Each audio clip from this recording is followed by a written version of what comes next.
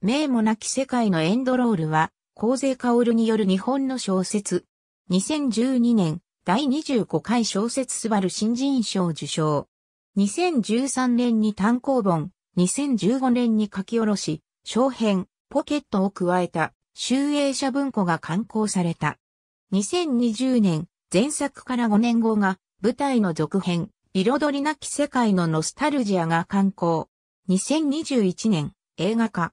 それに合わせて映画版の半年後を描いたウェブドラマ、リ、名もなき世界のエンドロールハーフ、エイヤーレーターが配信された。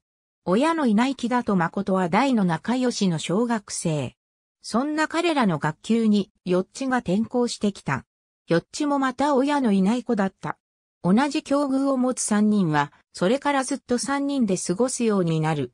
ある時、木田は、ヨッチに好きだと告白するが、その前に、誠に告白されていたヨッチは、誠と付き合いことを決めていた。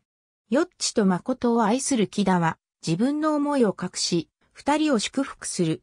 しかし、誠がヨッチにプロポーズしようとしたとき、ヨッチは、交通事故で亡くなってしまう。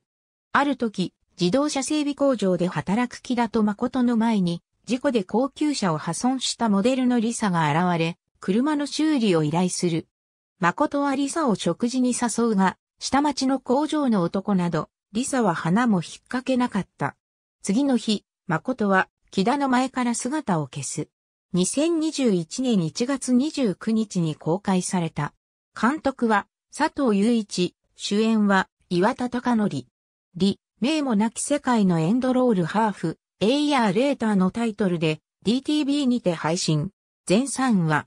2021年1月29日に第1話が配信開始。原作者の高勢薫が原案を書き下ろした。映画のラストから半年後の木田が描かれる。ありがとうございます。